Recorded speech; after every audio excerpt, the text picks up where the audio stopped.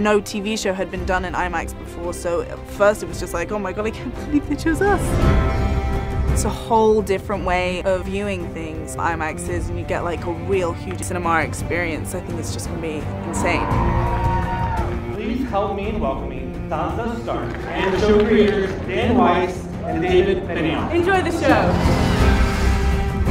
That was an amazing experience. Watching it on the big screen like that was like I was watching it for the first time.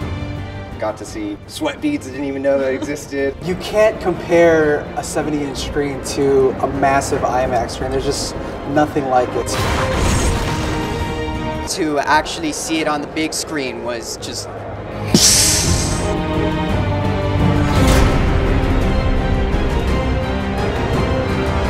To all the Game of Thrones fans, please just get off your couches and come see Game of Thrones in IMAX and get a preview of season 5 as well.